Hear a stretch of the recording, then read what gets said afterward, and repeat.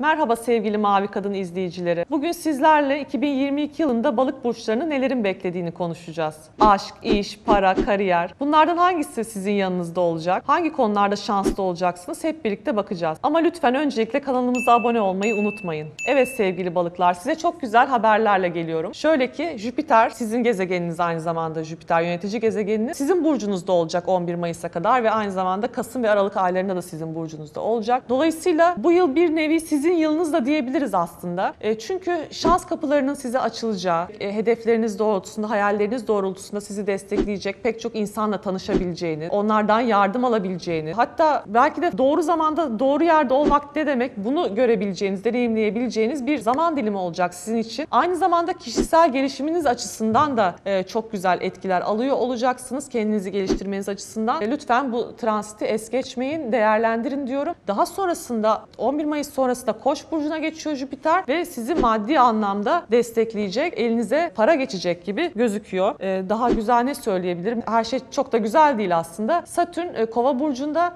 bu sizin bilinçaltınızda bir takım korkular barındırdığınız bir e, sene olabilir ve bu korkularla yüzleşmek zorunda kalabilirsiniz. Korkularla yüzleşmek derken özellikle Satürn'ün geri gittiği Haziran, Temmuz, Ağustos, Eylül ve Ekim aylarına dikkat diyorum. Kendiniz üzerinde biraz çalışmanız gerekebilir. Psikolojiniz zaman zaman biraz bozulabilir.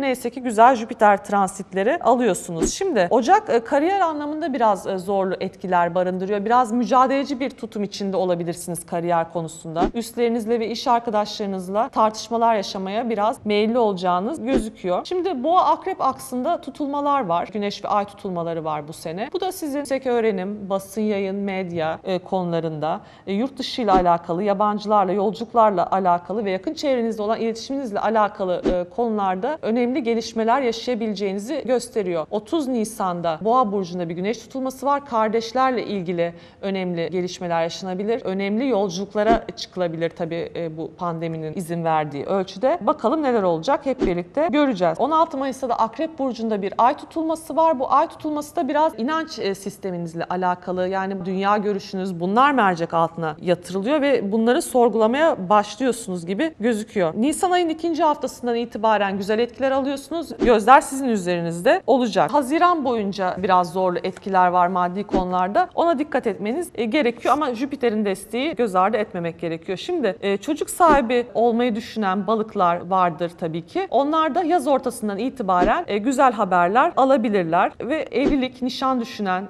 balıklar onlar da Eylül ayı ortasından itibaren şanslı etkiler alıyor olacaklar. Çok güzel bir e, 2022 dilerim tüm balıklara. Yeni videolarda görüşmek üzere. Hoşçakalın.